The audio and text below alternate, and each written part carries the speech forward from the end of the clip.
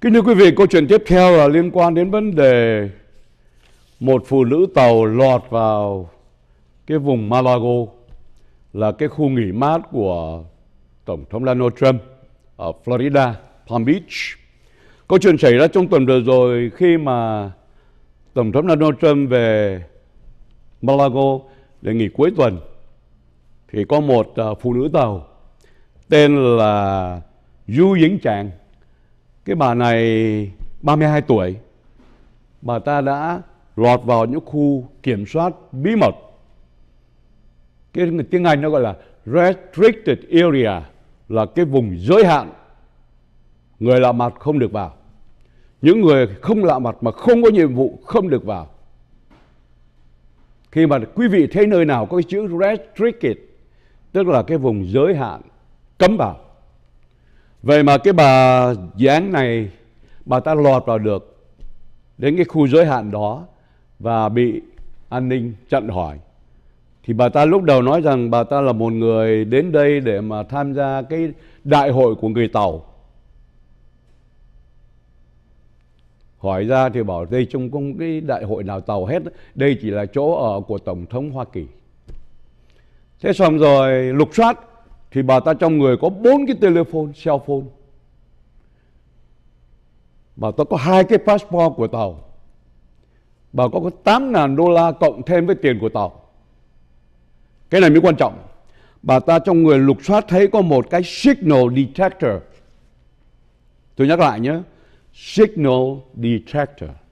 Tức là cái tìm ra những cái mà camera bí mật gắn ở đâu thì nó tìm ra hết nó sẽ tìm ra cái dấu hiệu của camera nó cái làn sóng siêu âm. Thế thì quý vị thấy, nói sơ sơ biết đây là một tay gián điệp lão luyện trong nghề tình báo. Vì những người thường không thể nào có những cái signal detector được.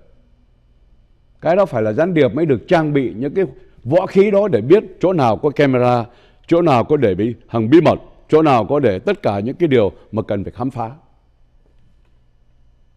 Vậy mà bà ta lúc đầu còn giả vờ không biết nói tiếng Anh. Hả? Thế sau họ điều tra kỹ lưỡng mới biết bà ta nói đến bốn thứ tiếng. Cả Anh, cả Pháp, cả Tàu hai ba thứ tiếng. Rồi cuối cùng thì bà ta bị bắt và điều tra ra và bây giờ đang trong vòng điều tra mới kế tiếp. Và có nhiều nguồn tin cho biết rằng bà ta chính là gián điệp mà loại cao cấp và khai tên khai tuổi giả trong con người có hai passport. Thì đấy là một cái sự kiện mà cho mọi người biết rằng là tập cẩm bình không ngừng vấn đề gián điệp hoa kỳ. May là cái lúc bà ta có mặt đó thì tổng thống donald trump lại không có ở nhà. Có lẽ lúc bây giờ tổng thống đi đánh góp. Chỉ có muốn nói một điều rằng là tập cận bình là một phe nữa, thất bại trong vấn đề gián điệp ở Mỹ. Cho nên đến bây giờ chúng ta phải công nhận là Tập cẩm Bình hay là người Tàu họ không có thông minh. Họ không có thông minh. Tôi nhắc lại cái câu đó. Hình như Cộng sản nó không có thông minh. Nó không có hiểu biết, nó không biết những cái chuyện nó làm là rùi bu. Tại sao vậy? Thứ nhất, Nước Mỹ đã từng cảnh cáo Tập Cận Bình hàng trăm lần chứ không nói là hàng chục lần. Mày là thằng ăn cắp. Mày là thằng gián điệp. Mà là cái thằng gọi là rình rập nước Mỹ để mà thu gom những tài liệu. Thế thì con mắt của Hoa Kỳ nhìn vào Tập Cận Bình, nhìn vào những người Tàu, nhất là bây giờ có 365.000 người Tàu đang có mặt ở Hoa Kỳ về vấn đề học hành và làm việc và nghiên cứu ở các đại học, hàng ngàn đại học của Hoa Kỳ. Và Bộ Ngoại giao cũng như là tình báo của Mỹ nó nắm hết tài liệu vào những cái tên gián điệp này. Thế thì bây giờ tiếp tục cho người đàn bà xâm nhập vào chỗ Malago một cách rất là nhẹ nhàng. Có nhiều nguồn tin cho biết có thể là Tập Cận Bình đã mua chuộc những cái tay nó an ninh ở đấy để cho cái bà dung dạng này bà đi qua, mà nó không biết. Bởi vì câu chuyện nó vô duyên lọt vào trong những cái chỗ đó nó vừa phải có máy già, nó vừa phải có vấn đề kiểm soát điện tử electronic mà nói trong người của bà này ngắm cầm đến bốn cái telephone cell phone điện tử nó ra về thấy Cho nên đây mà là cái bằng chứng nữa cho thấy rằng tàu chủ trương mua mọi việc bằng tiền. Và kết quả bà ta đã bị bắt. Và Tập Cận Bình vẫn chưa từ bỏ cái lối gọi là hối lộ, lại quả để mua chuộc từ cái nhân viên gác cửa trở lên. Và sau đó tất cả những toàn thể nhân viên ở trong an ninh đó sa thải hết. Đấy là một nguồn tin mà Fox News họ đã nhanh nghe được và họ đã nhận được tin tức từ tòa bạch cung. Và cái bọn này sa thải là đúng lắm, bởi vì chúng nó đã bị mua chuộc. Không thể nào một con con ruồi có thể bay qua được. Lý do là vì họ đã kiểm soát quá kỹ lưỡng người rồi cả điện tử. Không có cái lý nào mà cầm bốn cái telephone mà qua khỏi cái trạm gác mà không biết. Không có lý nào mà lại lọt qua được một cái trạm gác mà nói ra ngơ ngác không biết gì cả. Mà bà ta đã tiến vào cái khu nhà của Tổng thống Donald Trump. Tức là đây là một chuyện gián điệp để nó tìm tòi ba điều. Thứ nhất, xem là những nơi nào có gắn camera. Cho nên nó mới có cái signal detector để nó khám phá ra những cái chỗ giấu camera của Malago. Đó là tình báo là gián điệp. Cái thứ hai, nó có đến bốn cái telephone, cell phone để nó quay hình và nó chụp. Cái thứ ba, nó có đến 8.000 đô la tiền mặt ở trong người cộng thêm tiền tàu. Tức là nơi đâu nó cũng tới nó xỉa. Ha ha, đem đô la ra nó xỉa. Nếu gặp dân tàu thì đem tiền tàu ra nó xỉa để nó mua chuộc những cái tay an ninh này. Đây cũng là cái phúc đức của ông Donald Trump. Cho nên bề trên nó soi sáng cho những cái tên làm việc mà vì tiền, vì gái này đã bị hối lộ. Và cái tên phụ nữ tàu dính dáng này đã bị bắt và đang chờ ra tòa. Đây là một trong những cái sự kiện mà chúng tôi thấy hãnh diện cho Tổng thống Donald Trump. Rồi lấy một buồn cười nữa, nói chi tiết cho nó vui. Khi mà hỏi rằng bà đến đây làm gì thì bà nói rằng là tôi đến để họp của hội của người Tàu. Họ bảo đây chả có người Tàu nào ở đây hết. Bà bảo à, bà nhìn thấy trước mặt có hồ bơi và tôi đến đây để tắm. Thế thì nữ cảnh sát viên Mỹ hỏi bà đi tắm thì bà có đồ tắm không? Bà có bed suit không? Swimming suit không? Bà ta bảo không có. Thế là quý vị theo lòi nó láo. Nó láo ba điều. Thứ nhất, nó không biết tiếng Anh. Nhưng mà cuối cùng họ dùng người Tàu điều tra thì nói tiếng Tàu và nói tiếng Anh giỏi. Giỏi chứ không phải biết nói đâu. Cái thứ hai, nói rằng tới đây để mà đi tham gia buổi họp của Tàu. Đây là chỗ Tổng thống Donald Trump nghỉ làm gì Tàu đâu ở đó. Cái thứ ba, bà ta nói láo là đi vô đi tắm. Nhưng mà lại không có quần áo tắm. Cho nên cuối cùng bị bắt và nhốt. Đây là một trong những sự kiện mà chúng ta sẽ thấy trong những phiên tòa lần tới sẽ có nhiều cái lạ lùng. Và thêm một điều nữa, bà ta có vào khoảng độ 8 cái credit card, thẻ tín dụng. Và bà ta có theo cái tên tuổi check ở trong cái account với Wells Fargo Bank, bà ta còn 5.000 đô la ở trong chương mục. Nhưng mà trong túi là có đến 8.000 đô la và cộng thêm tiền tàu. Thì là quý vị thấy rõ ràng chưa? Dùng tiền để mua chuộc. Đến đâu là dí.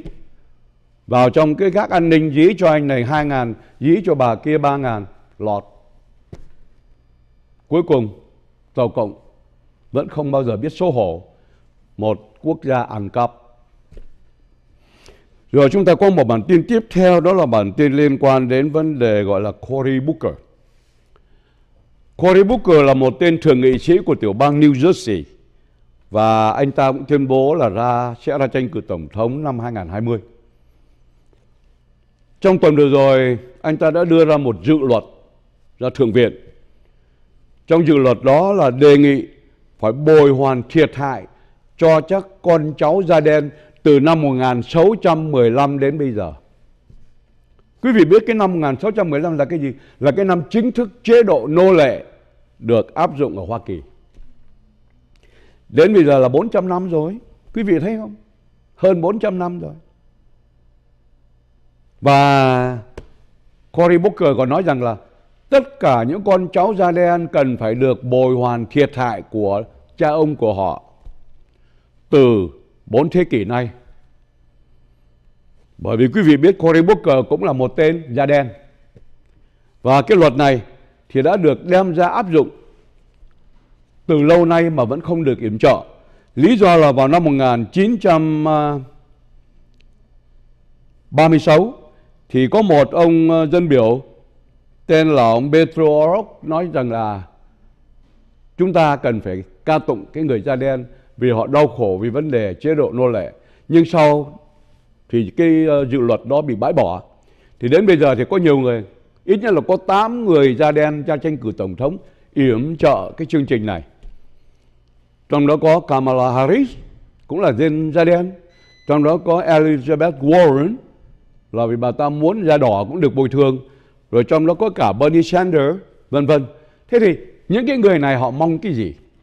Những người dân chủ bây giờ họ mong phá nước Mỹ, có thế thôi. Bởi vì họ tính ra cái chính sách mà bồi hoàn tiền bạc cho những người da đen sẽ tốn vào khoảng độ trên một trăm uh, trăm ngàn tỷ tức là một uh, tỷ là một ngàn triệu mà một ngàn tỷ mới là một trillion là một ức mà để tốn hàng trăm ức như vậy nước Mỹ bây giờ đang nợ 22 ngàn tỷ mà riêng cái món này không cũng mất hàng trăm ngàn tỷ thì quý vị thấy đời nào bao giờ Mỹ mới trả hết nợ và mới tàn phá vấn đề bankruptcy của Hoa Kỳ. Thế thì anh chàng uh, uh, Booker, Cory Booker này nói rằng là một trong những cái sự kiện mà dân da đen phải thiệt thòi vô cùng và chúng ta cần phải đền ơn lại những cái sự đau khổ mà cha ông của họ đã gánh vác trong bốn thế kỷ vừa qua. Thì quý vị thấy rằng là chúng tôi đã có lần trình bày với quý vị, nếu trường hợp da đen như thế, thì da đỏ cũng phải như thế. Da đỏ người ta không những từ bốn thế kỷ nay mà người ta bị da trắng diệt từ những năm 1492 sau khi Christophe Colomb khám phá ra tuần thế giới gọi là New World. Rồi người da trắng đến mà diệt, triệt hại da đỏ không những ở Hoa Kỳ, mà ở tất cả các quốc gia của Trung Mỹ và Nam Mỹ. Thì đến giây phút đó muốn triệt hạ mà trả cho đồng đều thì tốn hàng ngàn ngàn, ức chứ không phải ngàn ngàn tỷ. Và đấy có phải là một cái kế hoạch đem lại hạnh phúc cho người dân Mỹ không? Không. Bởi vậy cho nên, Cory Booker tuyên bố một câu rằng chúng ta phải tạo lại vấn đề bình an và công bằng cho mọi sắc tộc. Có như thế thì nước Mỹ mới xứng đáng là một quốc gia tân tiến và công bằng theo như hiến pháp đã ấn định. Mà quý vị thấy bây giờ đúng theo cái luật này là những người da đen có quyền ở nhà ăn chơi và hưởng phúc đến hết đời cha đến đời con không phải đi làm. Vì họ tính ra cái bồi thường thì mỗi một tháng một cái da đen lớn bé cũng đều phải lãnh mỗi người 2.000 đô la trở lên. Và chỉ việc ăn ở nhà để đẻ, để chơi. Và quý vị có thể tưởng tượng có một cái xã hội nào mà lại đem ra cái đạo luật như thế không? Thế mà những cái tên da đen này nó lại làm được. Quý vị thấy chưa? Cory Booker, thằng Beto O'Rourke. Beto O'Rourke là cái thằng Mỹ nó ra lai uh, ờ, cơ, Rồi những thằng Juan Castro cũng là một ứng cử viên của Mexico, nó từng là thị trưởng của thành phố San Antonio. Thì những bọn này nó muốn là bồi thường da đen, xong sẽ bồi thường da đỏ. Bồi thường da đỏ xong rồi sẽ bồi thường cho tụi Mexico vì nước này là của Mexico. California thuộc về Spanish trước năm 1848. Rồi tiểu bang San Diego, uh, Texas, tiểu bang Arizona, New Mexico đều thuộc về Spanish. Mà nếu như thế thì chúng ta nước Mỹ lại bán hết cả tài sản quốc gia không đủ để bồi thường cho ba cái dân da đen, dân da đỏ và dân mễ này. Kính thưa quý vị, một lần nữa chúng tôi là xin tạm dừng vài phút để gọi đến quý vị một vài cơ sở thương mại đã bảo trợ cho chương trình. Xin cảm ơn quý vị.